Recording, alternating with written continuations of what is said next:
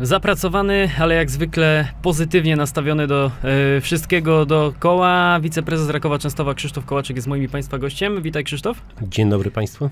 Standardowo jak się e, spotykamy, no to jest e, zawsze mnóstwo tematów do poruszenia. W niektórych tematach wiemy więcej, w niektórych mniej, także sobie na, na spokojnie tutaj wszystko przeanalizujemy, ale zacznę od wakacji. Czy, czy Krzysztof Kołaczyk e, miał wakacje, czy ma szansę na, na jakiekolwiek e, wakacje w tym roku? No szczerze planuję, planuję w sobotę planuję wyjechać do Gdańska, troszkę odpocząć, ale ten tydzień będzie jeszcze przed wakacjami bardzo intensywny. No właśnie, biorąc pod uwagę to, że Raków będzie występować e, w Ekstraklasie, wiemy, że te wymagania ekstraklasowe również no, pod względem nie tylko sportowym, ale organizacyjnym są ogromne. Czy teraz w klubie jest znacznie więcej pracy niż w poprzednich sezonach, chociażby w Fortuna pierwszej lidze? Znaczy nie, mi się wydaje, że w miarę podobnie. No. Podobne są, są tematy do ogarnięcia. Każdy sektor w klubie wie, co ma robić. Ja wiem, co ja mam robić. No wiadomo, jak wszyscy wiemy, największy problem to jest y, dopilnowanie terminy rozbudowy obiektu i, i to jest dla nas bardzo ważne. Natomiast te wszystkie inne wewnętrzne rzeczy, takie licencyjne już zostały spełnione. No teraz tylko kwestia takich przygotowań do sezonu, czyli myślę, to co zawsze praktycznie. No, no. Także myślę, że się wyrobimy na czas ze wszystkim. No to jeśli chodzi o te jakieś daty, które no zawsze są niepokojące w niektórych e, przypadkach, no biorąc pod uwagę i korzystając z okazji, że, że możemy porozmawiać, no to muszę gdzieś tam o ten stadion zapytać i, i jakby sprawa tego, że będziemy występować w Bełchatowie jest e, na ten moment e, zamknięta, no tutaj nie ma za bardzo co się dodatkowo rozwodzić, jedynie mogę korzystając z okazji zapytać, czy klub e, wspólnie może z miastem planuje jakąś, jakąś e, podróż, jakiś środek transportu dla, dla kibiców? E, Takie pytanie gdzieś tam wyłapane w sieci, no bo, bo wielu kibiców po prostu gdzieś o to już teraz pyta. Powiem szczerze, nie, no jakby nie ja też przy tym byłem, natomiast moim zdaniem no jak najbardziej taka inicjatywa ze strony miasta, czy tutaj od nas z klubu, żeby wesprzeć taki pomysł, jak najbardziej jest i będzie. Także no ja myślę, czym bliżej sezonu mm, to będzie trzeba dograć i jak najbardziej jestem za tym, żeby no nie z winy przecież kibiców będziemy jeździć do, do Bełchatowa i trzeba kibicom jakby wyjść naprzeciw i umożliwić taki, tak, taką możliwość, e, um- umożliwić możliwość, umożliwić e, taką podróż e, podstawionymi autokarami, także zobaczymy, no też obiecać nie mogę, natomiast zdecydowanie jestem za tym, żeby pomóc kibicom w ten sposób. No a nie ma co ukrywać, że to wsparcie kibiców w tym najbliższym sezonie będzie niezwykle istotne. Natomiast no, pytając o ten nasz obiekt, o tą modernizację, wciąż mało rzeczy wiemy, czas ucieka, jest licencja warunkowa, ale ona też wieczna e, nie będzie. Czy ty, Krzysztof, znasz jakiekolwiek e, daty, jaką jedną e, datę, gdzie, gdzie coś może się e, wydarzyć? No bo, bo po prostu jest to gdzieś tam też niepokojące, bo jednak e, od zakończenia sezonu trochę czasu minęło, no a jak ktoś sobie pojedzie na Limanowskiego, to żadnych prac na razie tam e, nie zobaczy. Znaczy, na razie jestem, myślę, że spokojny. No, jest to temat papierkowy na ten moment. Tak, został mm, oddany projekt wykonawczy już przez firmę, która do 4 czerwca bodajże miała go oddać, jest oddany. No i teraz czekamy na, na jakby uruchomienie przetargu, na wyłonienie generalnego wykonawcy. Wydaje mi się, że to powinno być w lipcu teraz yy, i, i, i później znowu jakiś czas minie, żeby tego głównego Takie daty gdzieś podałem, że właśnie początek lipca, koniec czerwca, no wydaje więc, się, że więc początek lipca. tak naprawdę też tak z tych dat, co słyszę, no to jeśli wszystko pójdzie sprawnie, to na przełomie, nie wiem, chyba sierpnia, września powinny ruszyć prace. No jeśli ja mam dobre informacje i między, między innymi ten proces papierowy, no niestety on, on zatrzymuje e, te prace i on dopiero może pozwolić uruchomić te prace i one prawdopodobnie będą druga połowa sierpnia, początek września, tak mi się wydaje. No jeśli to będzie wszystko sprawnie i nie będzie żadnych po drodze nieprzewidzianych problemów, no to myślę, że jestem pełen nadziei i optymizmu, że na wiosnę wracamy do siebie. No, mam nadzieję, że tak będzie. No miejmy nadzieję, że niedługo zostanie wbita symbolicznie ta, ta łopata i Pierwsza. ale potem nie zostanie tylko zdjęcie z tego, bo podobno są takie e, różne budowle czasami, że, że, że zostaje samo pamiątkowe Sama zdjęcie z łopatą. Natomiast potem nic się nie dzieje. No, miejmy nadzieję, że, że, że to Nie, wszystko myślę, że wszyscy wiemy, że to jest kierunku. tak poważny temat dla Częstochowy, dla nas, dla wszystkich, dla kibiców. E, I, i, i, praca, którą klub wykonał, to ja nie wyobrażam sobie, także myślę, że to będzie wbita łopata już niedługo i będzie ta łopata mocno kopać dalej. A my tam na pewno będziemy z naszą e, kamerą, e, nagramy e, każdy szczegół. Raków ma już za sobą dwa tygodnie tego sześciotygodniowego cyklu treningowego, tego okresu przygotowawczego. Wydaje się, że idzie to sportowo w dobrym kierunku, chociaż wiadomo, że ciężko jest oceniać sparingi, tym bardziej z drużyną z niższej ligi, która jednak miała tydzień mniej tych przygotowań, ale takie fajne, pewne zwycięstwo 3 do 0. Zagrali wszyscy nowi piłkarze. E, z tego, co już tutaj rozmawialiśmy, no nie byłeś na tym meczu, ale jak e, słuchy doszły do ciebie między innymi właśnie ze strony piłkarzy, trenerów czy, czy innych osób z klubu, które na tym meczu były? Znaczy, ja zawsze ostrożnie podchodzę do sparingów, aczkolwiek faktycznie, że no, byliśmy zdecydowanie lepszą drużyną. Mielec, Mielec jednak mm, słabiej wyglądał w tym meczu.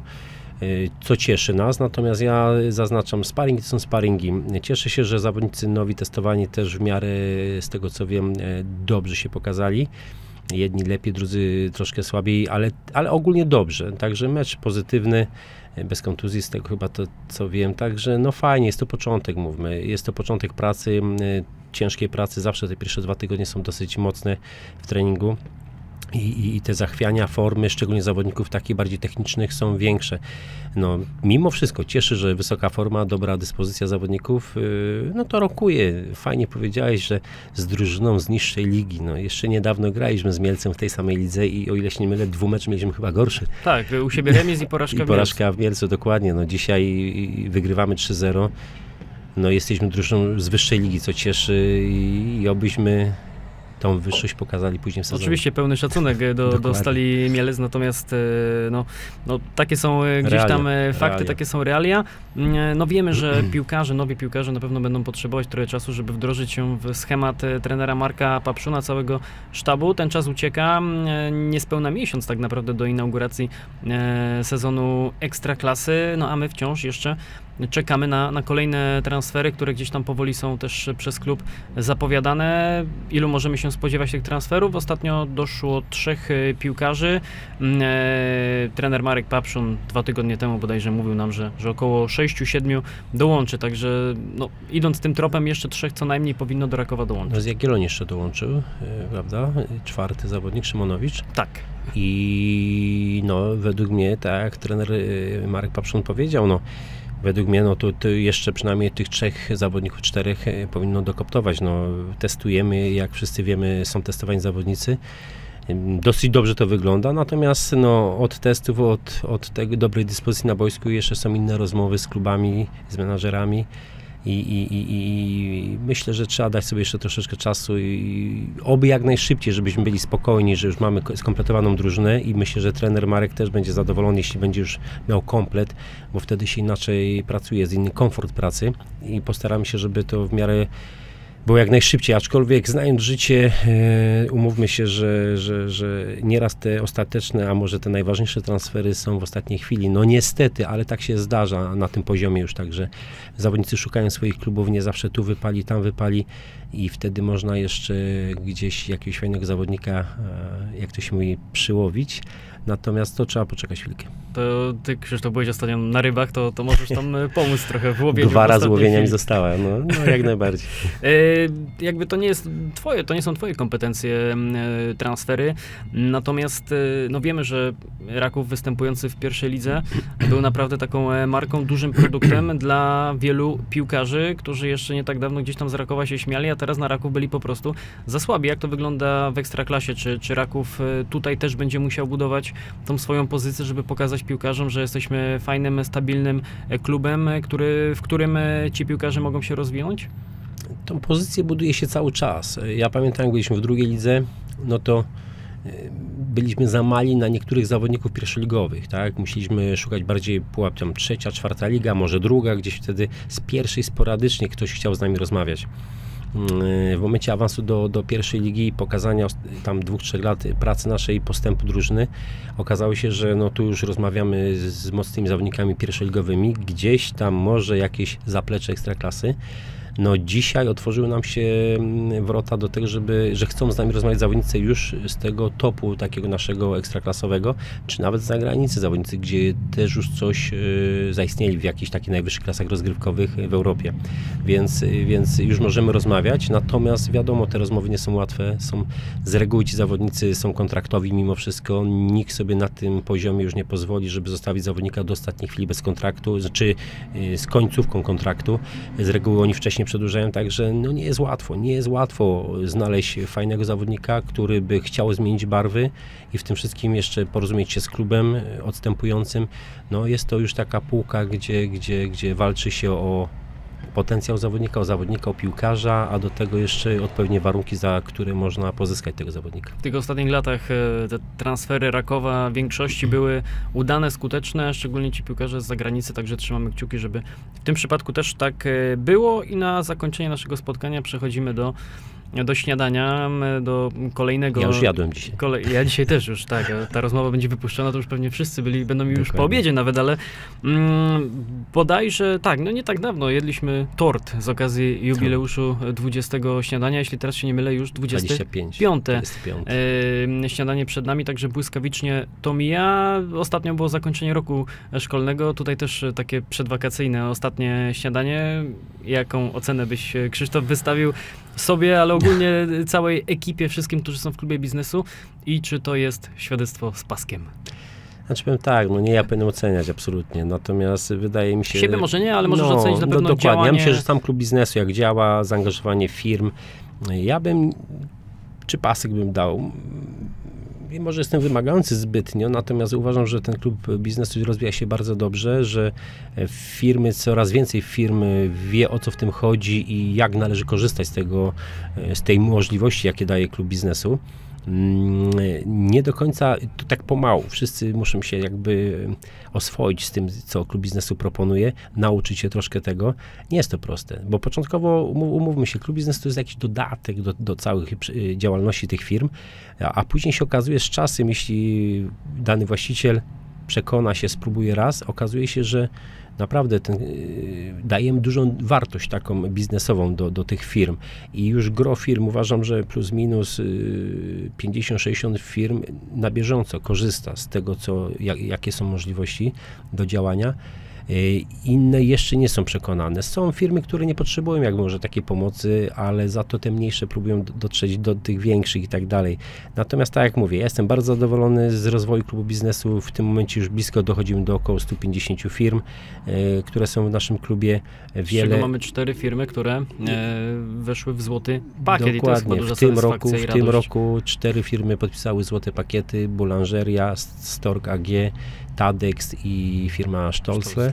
Także no, ja się bardzo cieszę i to są firmy, które już były przy nas, gdzie widzą ten postęp, tę organizację, postęp sportowy, ale i organizacyjny i to cieszy, że podnoszą pakiety, podnoszą na wysokie pakiety, że fajnie mi się współpracuje, że jednak dają coś, ale też dostają te firmy, bo mnie bardzo na tym zależy, żeby nie tylko brać.